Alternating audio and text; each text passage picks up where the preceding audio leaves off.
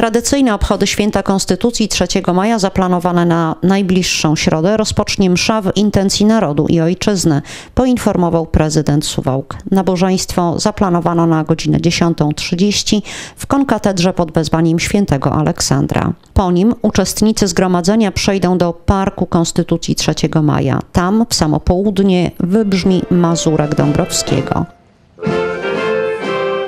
W oficjalnych uroczystościach nie zabraknie również okolicznościowych wystąpień gospodarza miejskich obchodów oraz zaproszonych gości.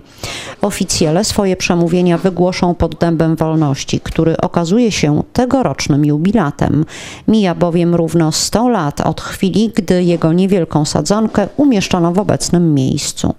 Młode drzewko wyhodowano z nasion umieszczonych w ziemi w 1918 roku, tuż po odzyskaniu przez Polskę niepodległości. O uroczystości sprzed 100 lat jeden z ówczesnych uczniów gimnazjum imienia Karola Brzostowskiego mówił, że Posadzono młody dąb na pamiątkę odzyskania niepodległości. Zakopano akt erekcyjny i położono kamień z odpowiednim napisem.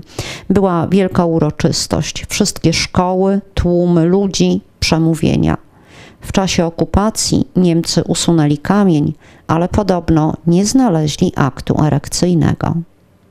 Na przestrzeni stu lat drzewo urosło, ale też stało się prawdziwym patriotycznym symbolem miasta.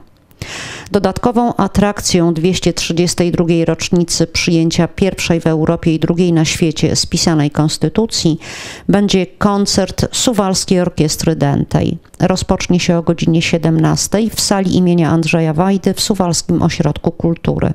W programie tego koncertu usłyszeć będzie można przeboje muzyki rozrywkowej, kilka tematów filmowych oraz muzykę z bajek. Czytamy w zaproszeniu.